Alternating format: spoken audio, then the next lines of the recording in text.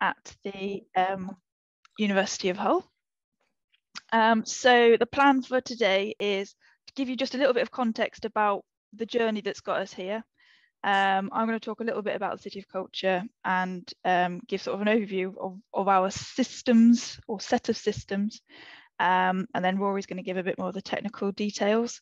Um, and then we're not going to do a live live demo, um, but I've got a screen record of the process that I, as a sort of digital archives practitioner, now am able to follow um, to make digital archives sort of preserved and, and accessible here. So, um, the City of Culture 2017, uh, you may have probably heard a little bit about it from, from Chris over the years. Um, but for, for Hull in the UK, it was a really special thing um, and it's something that um, attracted a lot of investment to Hull. Um, it's a scheme that's it's administered by uh, the UK government, and every four years, the title of the City of Culture is given to one lucky city, and it gives them the opportunity to kind of act as a beacon for um, any kind of arts and cultural events that you could imagine arts, drama, music, performance, community um, performance, things like that. And the university acted quite quickly because they realised quite quickly what a special thing this was going to be for Hull and the potential that it had for transformation um, of the city and of its people, its economy, its education, of everything. Um, and I think we also accepted that even if it didn't transform anything, that was remarkable in of itself, and it was something of quite some historical significance. Um, so our plan was really to try and capture a historical record of 2017. Um, so we worked with um, university, we worked with partners of the um, culture company, who were the company that kind of administered the year's events.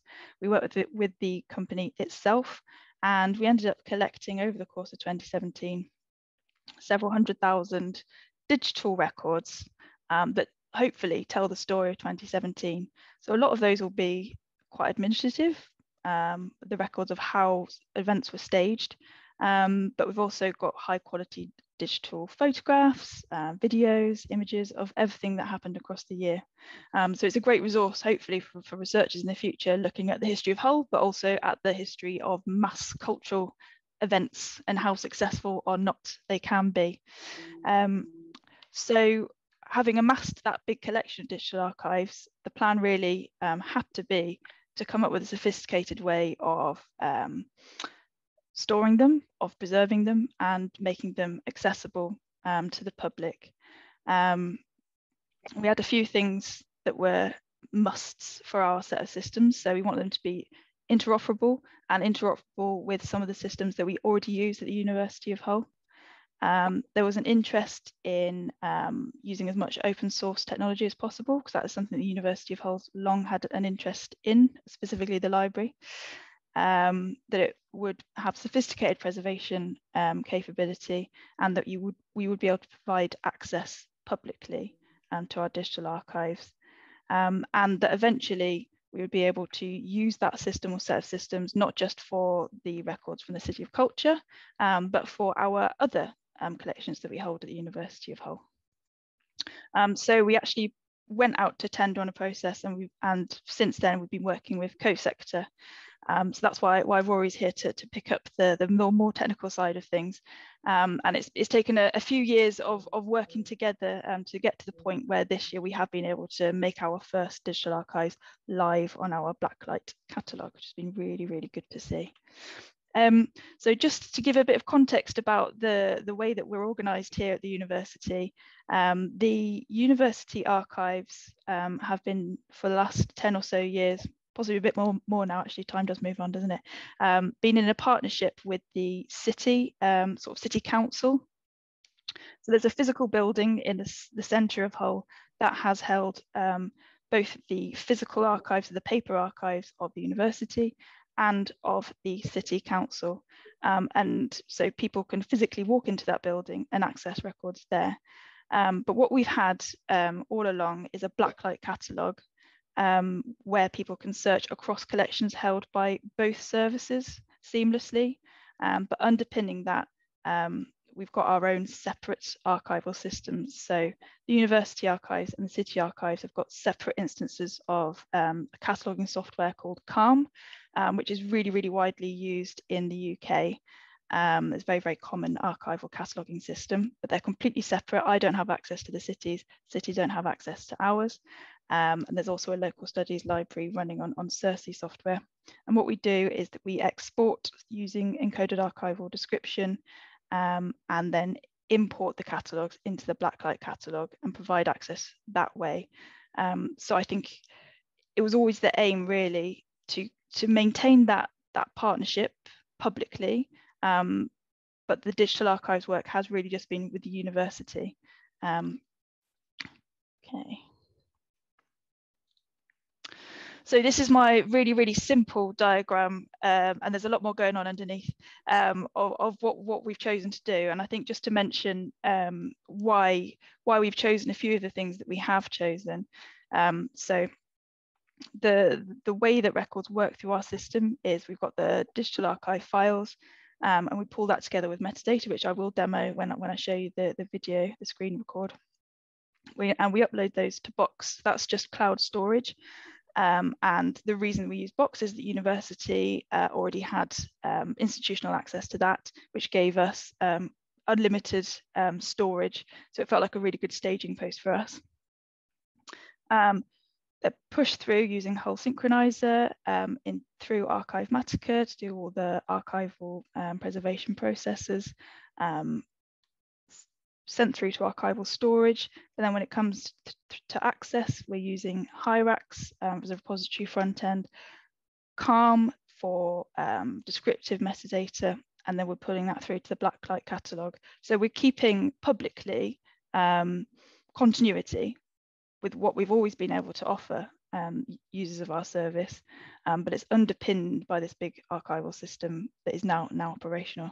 So that's my simple diagram, and I'm going to pass on to, to Rory to explain a bit more about the, the technical complexities. Thank you, Laura.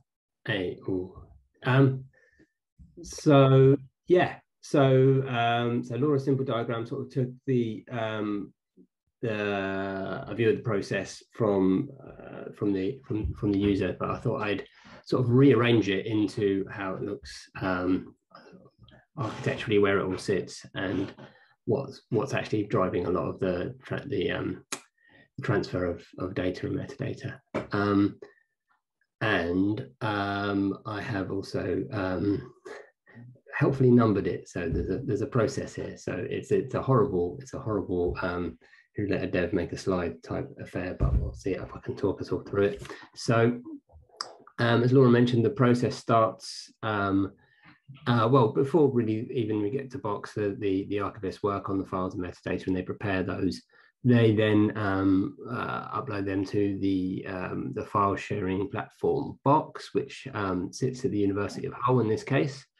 Um, and so we configured that. That's got a, a little API with um, webhooks on it so that it will um, send, a, send out a message when certain things happen. So we were able to configure this. I think that uh, um, the action that, that, the archivist Laura in this case would take would be to um, share a folder that she's already prepared with files and metadata um, with a with a special user. Um, that that fires off a little request then um, to the Hull Synchronizer, um, and the Hull Synchronizer is one of a, a, a number of apps that are sitting in an Azure tenancy that a CoSector are looking after. Um, it's also part of a, Kubernetes cluster in this case. Um, that is, it's a, a custom Rails app, um, and basically it just manages all the, uh, the the jobs. You can see most of the arrows are going through the Hull synchronizer. Um, my dog is um, trying to get in. Um, and we use um, the Gush workflow um, gem to help manage that. It's been really useful for that um, process. So um, the first thing that uh, will happen, obviously, it will, will, manage the transfer of metadata files to uh, across from Box um, to uh, the synchronizer, um, and all the all the time it will also send progress messages back to Box. So there's a little um, text file just appears in the directory that Laura would have been working on, and she'll also get emails as well. Um, so that's the first thing uh, that happens. Then, um, so then it does a bit of pro processing and preparation. The next step is that it um, prepares uh, transfer package for Archivematica um, that it, it, it uh, transfers over there. Um, so using the API, actually, the, the actual transfer of the of the, um, the, the, the payload really is is via um, SSH because um, that's how you have to do it. But then the, the management of the transfer and ingest process that happens in Archivematica, if you're if anyone's familiar with that, I don't know, but that uses the um, uh, the it's driven by Hull Synchronizer using the API. Um, Archivematica will do its thing. It's been configured um, to uh, to work um, in this case um, producing the um, the levels of, um, of archival um, processes that are required by the University of Hull. Um, it produces archival information packages and um, dissemination packages, so AIPs and DIPs. the the DIPs are returned um, they're collected again when, when that process is finished. Uh, the Hull synchronizer will collect the DIPs and um, then it will create some um, uh, packages that are deposited into the um, Hyrax, the Samvera stack. Um, so we've got two models that we're working with. An archive, archival package basically um, collects um, a lot of the uh, key information around the uh, the archival package, and that's a metadata only package that we that is uh, the parent of the digital archival objects, which actually um, contain the the file that the, the, um, that uh, the DIP contains. Those two objects are both then um, stage four and on now are deposited to um, Hyrax uh, using uh, the sword gem willow sword. Um, and where are we? Right. Yes. When that's complete, um, um, the um, so the so when that's that that process is complete and there's the, an identifier for those packages that are sitting in the repository uh, returned to the synchronizer. Synchronizer can then um, create a, a CALM record for this item. So this is where it can create a CALM record. It's got all the metadata that that that, that have come uh, essentially from the um, archivist. It's also got information now on the digital archival objects and where they live that are associated with this um, with this record. Um, and so a uh, CALM record then will appear. Um, and so this is back to the University of Hull, and CALM has always been a bit of a mystery to me. I um, uh, we've managed to um, create collections in it, um, and then this part, I this is where I, I need then need to sort of becomes a little bit manual in this process, I would say I would uh, check in with Laura to make sure that stuff is okay and it looks like it should in CALM. Um, so to in order then, um, and we, this is a we've got a quite solid um, process here or, or a solid collection of um, items uh, between Archivematica and Hyrax uh, and CALM. But really, we, uh, the, we want to be able to showcase this stuff um, not keep it um, hidden away in dusty archives. So the next step, and this where it gets a little bit manual, is that once the a collection is complete and has been um, reviewed by um, an archivist, um, the EAD, um, as mentioned before by Laura, can be exported. and so that's transferred over to us at CoSector, where we can run a custom importer that will do two things. One thing it does is it takes the um, the metadata in that EAD XML and create a nice um, record, uh, Solr record for Blacklight to display. Um, part of that, though, it also because uh, it because that EAD contains a reference back to the digital archival objects, it's able to um, to interact with Hyrax as well. So um, I should have said at step four, whenever stuff is deposited, it's just deposited in a closed state um, whenever we get EAD from um, from Hull and run the importer, that's the, that's our flag to say right, it's time to open this. So it will make that DAO um, uh, public, um, and it will build a, um, a Blacklight record, a Solr record um, based on that. Uh, the other important thing is, ah, yes, uh, other important, uh, so as well as adding a couple of these, these models to Hyrax, we also um, um, did some work around the uh, IIIF manifest to allow um, to allow those to serve. Uh, so Hyrax will serve um, IIIF manifest for um, uh, other media items, so PDFs and uh, images, and uh, images. Sorry, it does that already um, videos and audios and so on and so forth. Um, so this then allowed us, so the Blacklight's um, uh, has been um, um, amended to uh, take advantage of that. And so the so we, we've we've got a universal viewer. Hopefully Laura will be able to show you this properly. The universal viewer sits in Blacklight and it can basically show us where possible the um, those digital archival objects along with all the metadata that's come through this process. So that is hopefully going to come clear when Laura shows her um, shows us your video of what this all looks like in the real world, rather than me trying to take you through this lovely diagram. Let's hope so. Thank you very much. I'll stop sharing that and I'll try and share a video.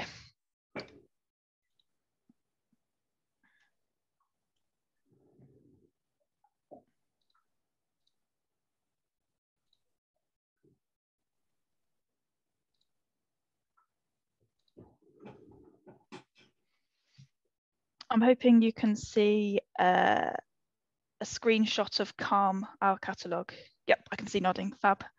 So this is Calm, this is, this is the back end and this is where we uh, catalogue our archive collections. Um, so you can see it looks fairly old fashioned. Um, I think it is. Um, but we've got uh, the structure of our collection down the side.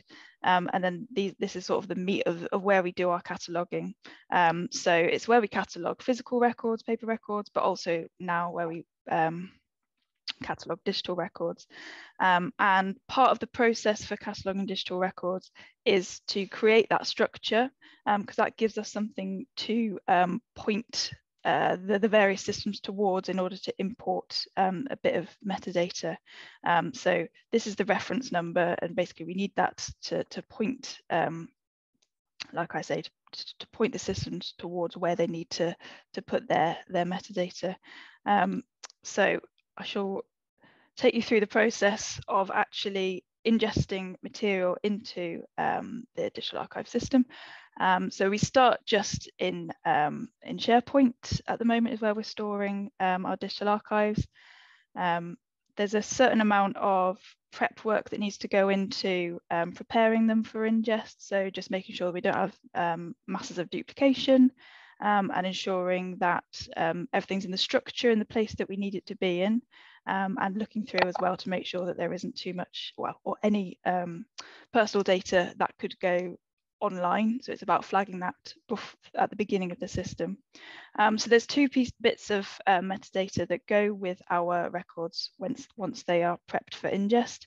Um, they're both CSV files. One is the um, file CSV metadata. And that's sort of the technical metadata. Um, and we can produce that uh, automatically using a script that was developed for us by CoSector. Um, that's pretty easy to use. We just copy and paste the um, folder location into the script um, and that runs the process automatically and creates the CSV. You can see, there you go, it's created that CSV automatically in place. Once that is run through, um, it should come up on the screen. Yep, so that's complete. And this is what is created. Um, so it's fairly simple. It's just the file path, the file name for everything that is within those folders, file size in bytes, and then a checksum. The other bit of um, metadata that um, Archivematica requires us to create is um, more descriptive, and that is a much more um, manual process. And it's the process that I, as an archivist, I'm used to doing. Um, so it is just about describing what we've got.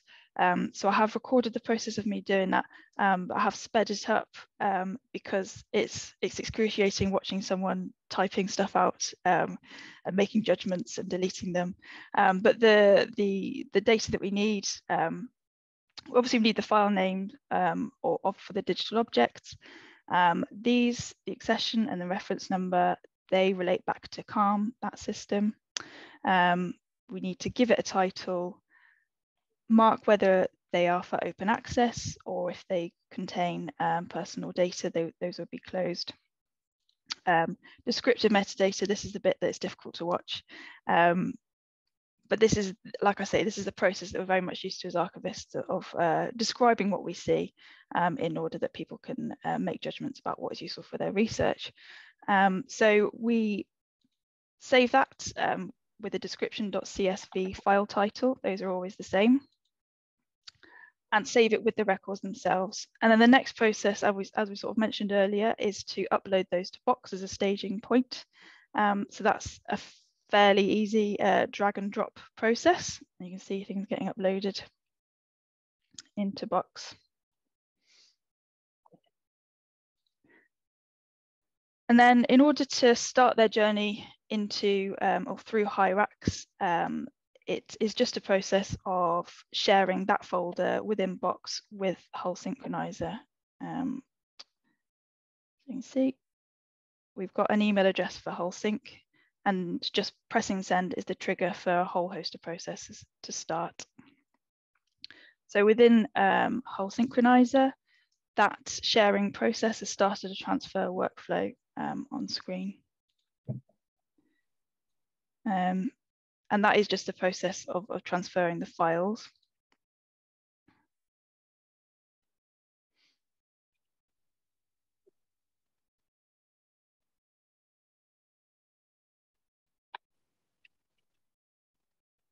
and that is the completed workflow. And that um, the completion of that workflow starts the next workflow, which is the review process. Um, and that is checking that the files that we've uploaded match with the metadata that was uploaded with them. I would say this is probably the um, part of the process which um, most likely to run into problems on um, and that is because this is the part that interacts with human error so this is where I might have put the wrong uh, file name or something in like that in, the, in there um, but if we do run into error we do get an error message telling us, where, where we've fallen down. So the finishing of the review process pushes it through to the last stage which is ingest um, and that um, pushes the package through to Archivematica deposits files in Hyrax and also pulls um, metadata through to CALM. So we can follow the progress through Archivematica. Um, so there we see the new um, uh, the new jobs have, have arrived on the transfer page. And this is when they're all done. Lots and lots of microservices. So lots and lots of things have been triggered um, by Hull synchronizer.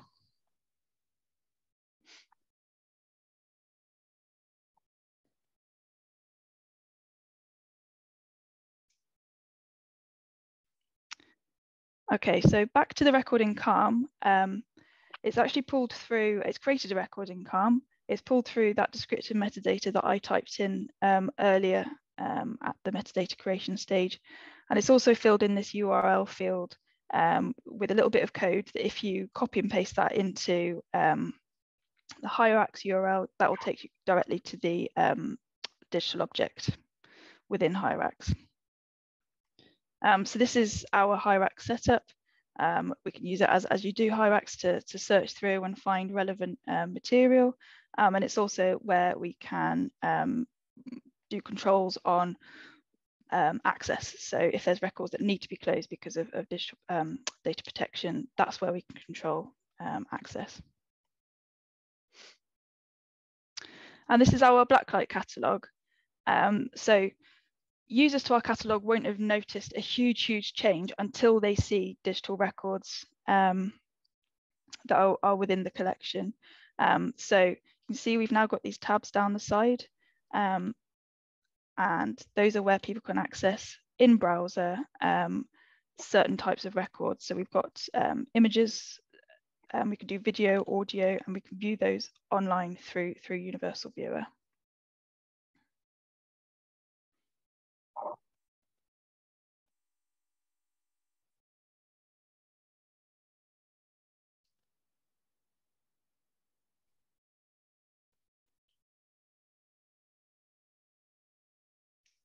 So this is sort of these are plans for um, a, a light show that happened on um, it's a very famous aquarium in Hull. Uh, so this is will have huge relevance to the people of Hull. Um, and then um, for all digital um, records available online, we also have this access page where people can download um, copies of the records. Um, and that includes any of the records that you could view through those tabs. But then there are some record types that you won't be able to view for those tabs and you can, and you can download those as you wish. And I think that takes me to the end of the, the whistle stop uh, tour of uh, the process as a digital archivist of um, using our digital archive. So I'm going to stop the share there. And um, I hope that's been helpful and interesting. And if you've got any questions, go ahead.